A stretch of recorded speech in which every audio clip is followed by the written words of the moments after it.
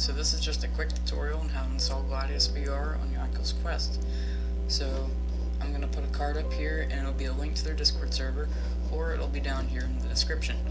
So anyways, once you join your Discord server, you want to head over to the Quest tab and click on one of these links. It should send you one. But if it didn't, just make sure you click on one of these. And this link will also be in the description as well.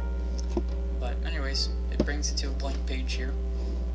You'll see this message down here. It says, what do you want to do with Gladius installed? So, what you want to do with this is save as, and save it to your desktop. Now, it's going to take at least like 20 minutes for it to load. So once you have Gladius installer on your desktop, what you're going to do is you're going to extract all, and make sure you extract it to your desktop. Alright, so now that should be on your desktop, so what you want to do is open SideQuest, go up here, click install APK from folder. You're going to find Gladius installer, and make sure you click on that folder. And once you get in here, you'll find the APK, and make sure you click on that, and now, here we go into here, we'll be installing the APK right on your Oculus Quest. Alright, so now that you got the APK installed, now you need to install the other one, which is the OBB.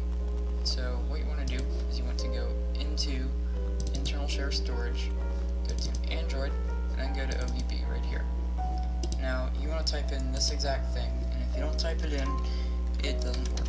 Alright, so make sure you have this exact thing typed in right here. If you don't, then it won't work. So make sure this exact thing right here. Now once you have that, you want to open another folder, open your Gladius installer right here, and go in here and you should find the OBB file. Now what you're going to do, you're going to take this and you're going to drag it right into the folder you just made. Alright, so now you have everything inside your quest and it's ready to be fired up. So let's head over to the quest.